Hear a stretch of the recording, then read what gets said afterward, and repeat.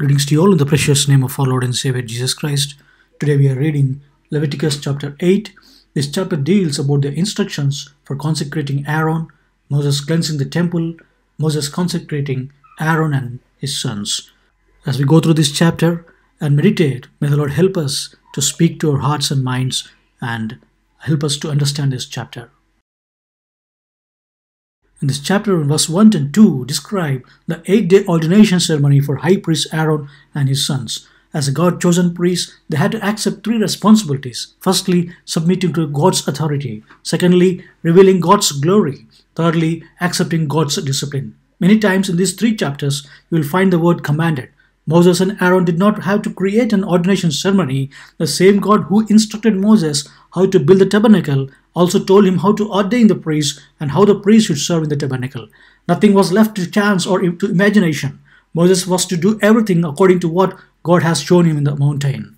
In verse 6, we see the priests were ceremonially bathed all over but once. From then, they washed their hands and feet at the laver while they were serving in the tabernacle. When sinners trust in Christ, they wash their sins once and for all. God's children need to keep their feet clean by confessing their sins to the Lord. In the Bible, water for washing is a picture of God, Word of God.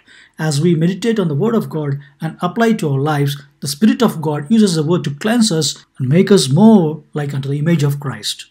From verse 7 to 13, we see each believer priest had been clothed in the beauty and righteousness of Jesus Christ and is accepted in Him.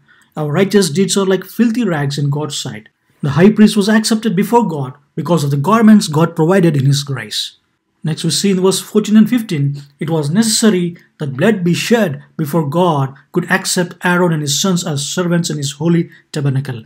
Because he is the holy Son of God, Jesus Christ, our high priest, needed no such sacrifice. Instead, he is the one perfect sacrifice that takes away the sin of the whole world.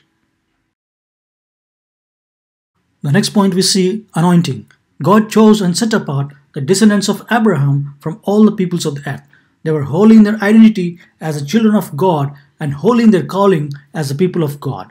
Among the, among the Israelites, God designated the tribe of Levi to serve in the tabernacle, and within this tribe, Aaron and his sons were appointed priests. They were not perfect men, they were sinful, and indeed of the same ongoing cleansing and covering with their service facilitated for others and Aaron was inaugurated as a mediator to instruct and facilitate worship, sacrifices, and the yearly observance God required.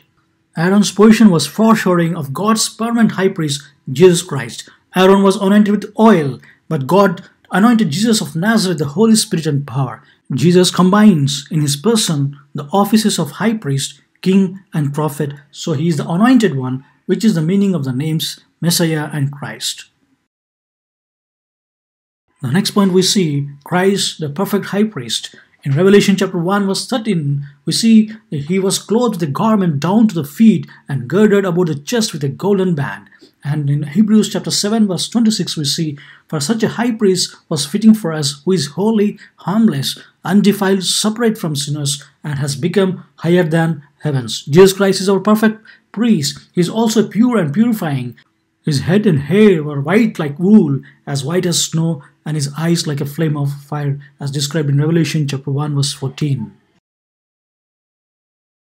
Dear beloved, as the Lord is speaking through this chapter, let's be reminded 1 Peter chapter 2, verse 9. But you are a chosen generation, a royal priesthood, a holy nation, his own special people, that you may proclaim the praises of him who called you out of the darkness into his marvelous light. May the Lord bless this short meditation in the edification of our spiritual lives and continue to speak through the book of Leviticus. Amen.